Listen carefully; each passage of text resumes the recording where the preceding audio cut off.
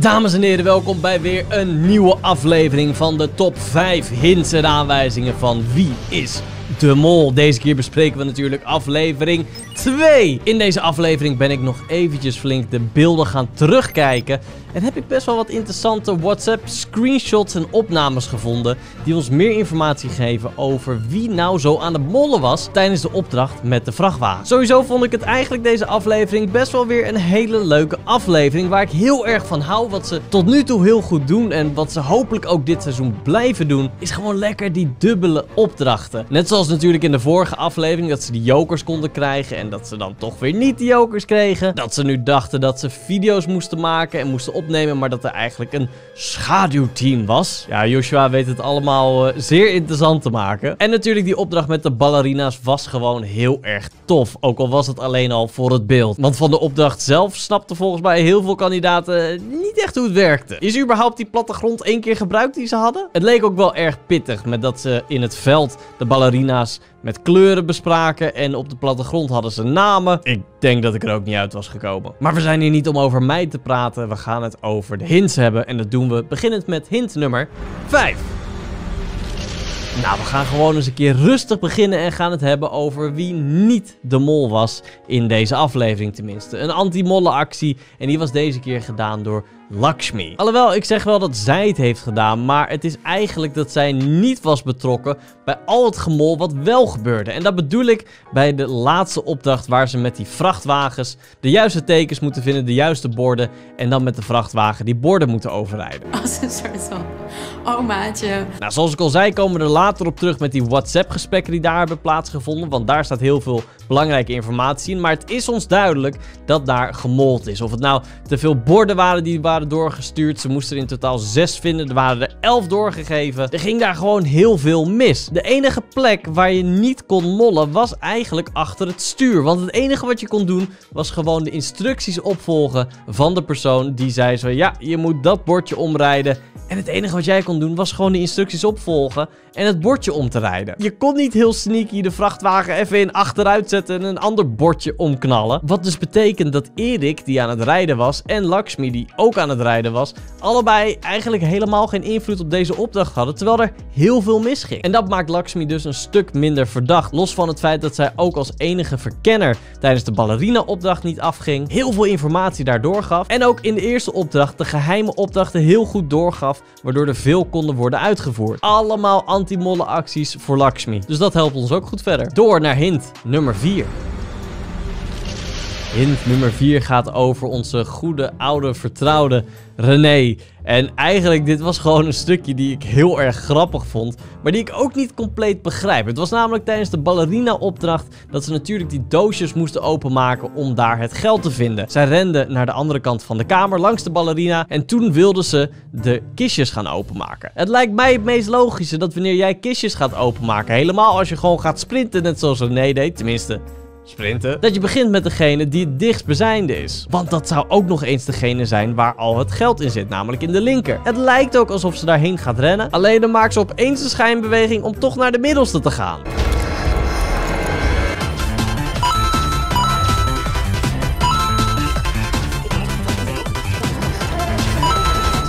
Ik vond dit gewoon zo'n opvallende manier om je pad te kiezen. Dat eerst ga je voor links, maar dan ga je toch voor midden. En dan ga je weer voor rechts. En dan ga je weer voor midden. En dan pas kom je bij links. En aan het einde zegt ze ook nog... Ja, ik heb niet eens alles gepakt. Het leek hier haast alsof ze er alles aan deed om neergeschoten te worden. En dat is natuurlijk ook precies wat er daar aan het einde gebeurde. Deed ze dat dus omdat ze wist dat er links geld was? Alhoewel, misschien zou je als mol ook juist dat geld willen pakken en daarmee afgeschoten worden. Gewoon weer een heel raar tafereel. Door naar hint nummer 3. Hint nummer 3 gaat over de opdracht waar ze de geheime opdrachten moeten uitvoeren. Nou, Florentijn die had natuurlijk per ongeluk, per ongeluk vanuit Joshua de geheime opdrachten doorgekregen, waardoor die niet werden uitgevoerd, waardoor zij dat gedeelte van het team 0 euro zouden verdienen. Nou, aan het einde kreeg hij de optie, wil je of voor een joker gaan, waardoor er geen geld in de pot komt, maar waardoor jij en René wel een joker kunnen verdienen, of wil je voor het geld gaan? Wat helemaal niet verzameld was in jouw team. Want je wist dat alle geheime opdrachten niet uitgevoerd waren, omdat ze naar jou geradioed werden. Nou, de enige logische keuze als deelnemer is dat je voor de joker gaat. Want je weet dat er 0 euro is verdiend, er zijn geen geheime opdrachten gedaan. Dus ja, waarom zou jij dan niet de joker pakken? Want je benadeelt letterlijk niemand. Alleen dat doet hij niet. Hij kiest voor het geld. Wat gewoon heel raar is. Want er is letterlijk geen reden om voor het geld te kiezen. Het enige is dat je natuurlijk schijnheilig overkomt van... Oh ja, ik ben een kandidaat, ik ga voor het geld. Want dat zou een mol nooit doen. Ik kies voor het geld. Oh, Florentijn, ik hou van je. Nou, zoals ik al zei, klinkt dat mooi, want er was helemaal geen geld in de pot. Tenminste, niet aan zijn kant. Dus misschien was dit het perfecte moment voor hem als mol om zich schijnheilig op te stellen en zich minder verdacht te maken door te zeggen dat hij voor het geld gaat, terwijl hij heel goed weet dat er helemaal geen geld in de pot zit. Vanuit zijn team dan natuurlijk. Zou dus wel eens een sluwe mollenstreek kunnen zijn vanuit hem. En in diezelfde opdracht hebben we ook nog iets voor hint nummer 2.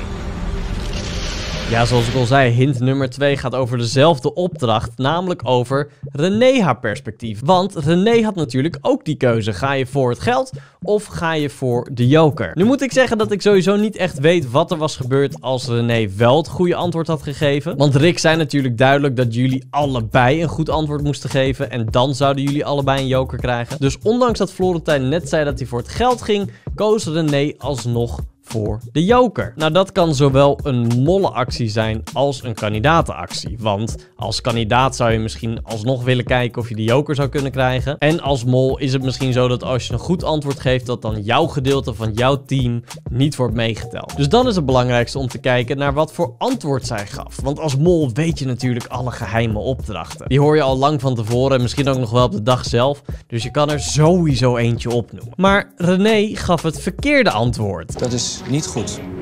En dat was dus niet goed.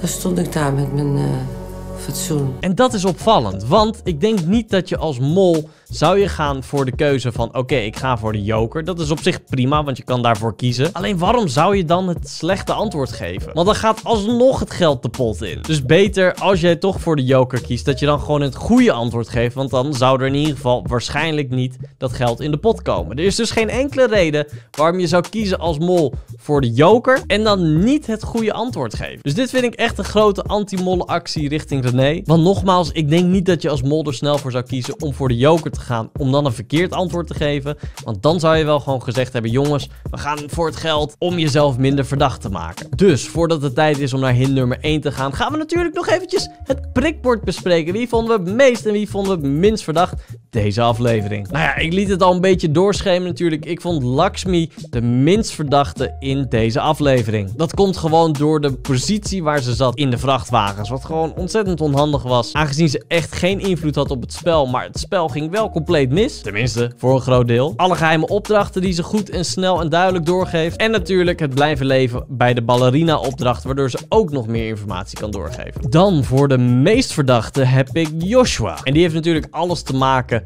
met de laatste hint die we straks gaan bespreken, hint nummer 1. Al vind ik ook niet dat we moeten vergeten dat hij gewoon de hele eerste opdracht verklooid heeft. Ik weet niet of dat een woord is, maar vanaf nu. Door gewoon in de verkeerde porto te praten. Daardoor was er either way, of Florentijn nou voor het geld ging of niet voor het geld, was er aan zijn kant sowieso geen geld verdiend. Omdat door dat kleine stomme foutje letterlijk alles gewoon in de soep liep. Combineer dat met wat we gaan bespreken in hint nummer 1 en dan is het een aardig verdachte jongen. Tijd dus voor hint nummer 1. Hint nummer 1 gaat een beetje een ingewikkelde hint worden. Dus als je wil, kan je altijd even terugspoelen, terugkijken. Uh, kijk sowieso zelf ook naar alle screenshots die ik ga laten zien. Want misschien heb jij wel een andere visie erop. En uiteindelijk zijn we hier om samen de mol te vinden. Alleen ben ik de gek die gewoon alles aan elkaar knipt en uh, veel te lang doorgaat hierin. En dat heb ik ook bij deze hint gedaan. Want ik heb heel veel teruggekeken van de laatste opdracht. Ik vond namelijk dat er zoveel was gebeurd. Zoveel gemold, zoveel bordjes. Florentijn kwam aan met ja, er zijn elf dingen doorgegeven. Zat iedereen van wat? Elf dingen? Er zijn maar zes goede bordjes? Er was gewoon ontzettend veel onduidelijkheid. Maar waar ging dat nou fout? Heeft hij echt zoveel foto's doorgestuurd gekregen? Of was dat gewoon een leugen en heeft hij zelf allemaal dingen erbij zitten noemen die helemaal niet doorgestuurd waren? Nou, en daarvoor is Detective Wouter weer even de aflevering gaan terugkijken. Want er zaten telkens een paar seconden shots tussen van hun WhatsApp-conversatie. En toen ik aan het terugscrollen was, viel mij iets op. Namelijk dat op een gegeven moment, echt voor één seconde, klikte Florentijn op een van de foto's. En wat zie je dan op een Apple? Dan zie je onderin de eerdere foto's die gemaakt zijn. Groen was links onderin naar rechts bovenin, linkerkant. Oftewel, wij kunnen zien op dat punt, en in de montage was het ongeveer 10 minuten in de opdracht, uh, terwijl de opdracht 15 minuten duurde. We kunnen zien dat er op dat punt al 8 foto's verstuurd waren. Ja, dat zie je onderin als je ze telt. Moet wel zeggen, er zit wel een dubbele foto tussen. Maar daar hebben we het straks over, want we weten ook van wie die komt. Ik moet me trouwens een klein beetje rectificeren. Het zal niet exact 10 minuten geweest zijn. Want als we kijken naar wanneer de eerste screenshot verstuurd was, dat was op 14 uur 39. En als we kijken naar die andere foto die we zagen, was op 46. Dus dat is 7 minuten later. Oftewel, dat zit ongeveer halverwege de opdracht. Acht foto's dus al, hè? Halverwege de opdracht. Oftewel, Florentijn kreeg inderdaad heel veel foto's. Want natuurlijk is in die minuten daarna ook gewoon nog doorgestuurd. Dus die 11 zou best wel een realistisch getal kunnen zijn van wat hij aan foto's heeft binnengekregen. En bordjes natuurlijk. Nou, dat is sowieso al fijne informatie om te weten. De vraag is alleen, wie heeft die dan verstuurd? Ja, ik, ik heb eigenlijk geen idee. Natuurlijk heb ik wel een idee. Dit zoek ik toch allemaal uit voor jullie. Verdorie. Als we kijken naar de eerste foto, de eerste moment dat WhatsApp in beeld komt, zien we twee foto's. Dit zijn de aller twee eerste foto's die verstuurd zijn. Want hiervoor zien we dat het gesprek is aangemaakt in een eerder stukje in de aflevering. Beide foto's, de eerste twee foto's, zijn gemaakt door Joshua en René. En je ziet ook dat er een 1 minuut tijd tussen die foto's zit. Van de bovenste foto kunnen we bevestigen dat het het allereerste bordje was. Oftewel op 1439 is ongeveer de opdracht gestart. Oké, dan gaan we terug naar het overzicht. Dan zien we ook dat er een dubbele foto in zit. We weten dus de eerste twee zijn van Joshua. Uh, dan zien we een dubbele foto. En in het fragment, of in de aflevering, horen we Joshua en René dit zeggen. Ja, misschien al. Ja. Even naar dit. Maakt niet uit, niet. Waarom is hij zo kut? Niet twee keer sturen hoor. Moet je echt geen reet. Ja, precies. Ze hebben een dubbele foto gemaakt en verstuurd. En dit is die dubbele foto. Dus we weten dat foto 4 en 5 ook van Joshua en René zijn. Dat betekent dus dat 4 van de 8 al van hun zijn. Oké, we gaan verder speuren. Want we weten dat de opdracht 15 minuten duurt en dat ze twee keer het parcours afleggen. Dat zou dus betekenen dat om en nabij 7,5 minuut, de helft van de 15, één ronde is. Wat we weten uit de aflevering is dat het andere team met Rocky die de foto's maakt, pas de tweede ronde beginnen met fotograferen. Oftewel dat ze ongeveer 7 minuten na de start van de opdracht zijn. Dus de kans is erg groot dat de derde foto ook van Joshua zal zijn. Dus dat geeft ons nog foto's 6, 7 en 8. Nou, de foto waar ze op inzoomen, de zevende, zien we die is van Joshua. En 8 is van Charlotte en Rocky. Want dat staat er ook gewoon letterlijk onder als afzender. Dus dan hebben we alleen nog de vraag van, ja, van wie is dan die foto waarvan we dan hier voor de helft zien. En misschien herken je dat bordje. Dat bordje lijkt wel verdacht veel op het bordje die ze als allereerste verstuurd hebben. En als we kijken naar de tijd, zou dat ook wel heel goed kunnen. Want de foto is genomen op 14.45 en dat is 6 minuten nadat ze die eerste foto hadden gestuurd. Dus dat zou om en nabij best wel kunnen dat ze weer aan het begin van het rondje zijn en dat Joshua weer dezelfde foto's gaat sturen. En dat betekent dus dat van deze 8 foto's die toen al verstuurd waren, er sowieso 6 van Joshua waren en misschien zelfs 7, dat is redelijk aannemelijk. En eentje van Charlotte en Rocky. Oftewel, Joshua heeft meer foto's zitten versturen dan het gemiddelde pubermeisje die op Snapchat zit. Zit er nog iemand op Snapchat? Ik weet. En dat maakt hem wel heel erg verdacht. Moet wel zeggen dat Joshua sowieso heel erg op de voorgrond is eigenlijk met alles en overal. Dus ik denk wel dat zo'n manier van mollen zou hem wel passen als je kijkt naar hoe die ook in de rest van het spel speelt. Het is aflevering 2, nog veel te vroeg om conclusies te trekken, maar ik moet zeggen, dit waren best wel wat interessante dingetjes. Mocht je het nou leuk vinden en waardeer je nou dat ik elke zondagochtend deze video's upload, smash dat duimpje omhoog, want dat helpt mij ook heel erg om deze video's wat meer naar voren te krijgen. En mocht je dat echt leuk vinden, abonneer dan even, zodat je ook de volgende keer de video weer als notificatie krijgt. Dankjewel voor het kijken en ik zie jullie volgende week weer bij een nieuwe video. Tot dan mensen. Ciao.